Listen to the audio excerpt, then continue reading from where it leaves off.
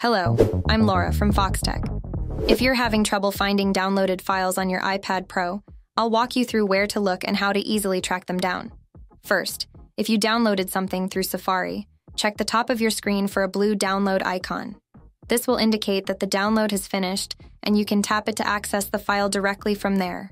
However, if you've already closed Safari or the icon is gone, you'll need to check the Files app.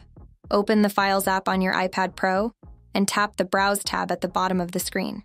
From here, you'll want to look under Locations to see options like On My iPad and iCloud Drive. For most downloaded files, the Downloads folder under these locations is the first place you should check, especially if the file was downloaded from Safari. It typically ends up there by default. If you're looking for something specific, you can use the search bar at the top of the Files app. Just type in the name of the file and the search feature should help you find it quickly. Also, remember to check other folders within the Files app if you saved the file to a particular app. For example, PDFs might be stored in the Books app, while other files could be saved in Dropbox or Google Drive if you're using those services. If you downloaded the file through a third party app, be sure to check within that app's downloads folder too.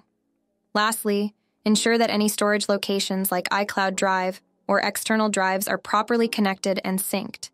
If these aren't synced, some of your files might not show up in the correct place.